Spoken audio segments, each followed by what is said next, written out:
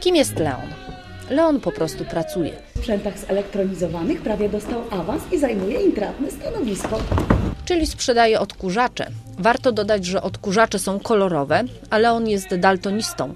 Poza tym jest zwykłym, wrażliwym i zagubionym człowiekiem. Leon to jest dobry człowiek, ciepły, szalenie wrażliwy, ale niestety życie bywa trudne i to życie jego troszeczkę tak y, przytłoczyło. Leona poznajemy, gdy siedzi na dworcu. Nie na takim zwyczajnym, ale na dziwnym, metafizycznym. Wszystko, co dzieje się wokół Leona, a więc wizyty krewnych, rozmowy z żoną czy wizyty w sklepie z odkurzaczami, może są prawdziwe, a może są w głowie tylko człowieka, który jest zagubiony.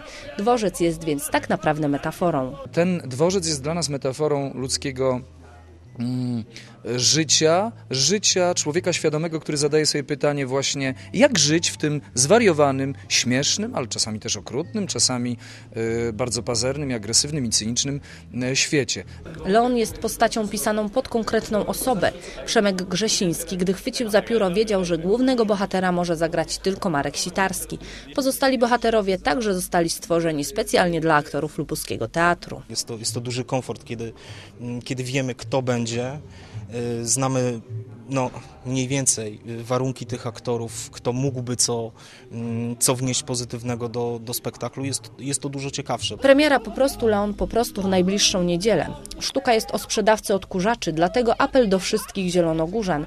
Przynoście do teatru swoje odkurzacze, aby odkurzyć to, co w naszym życiu brudne, żeby zostało tylko to, co tęczowe.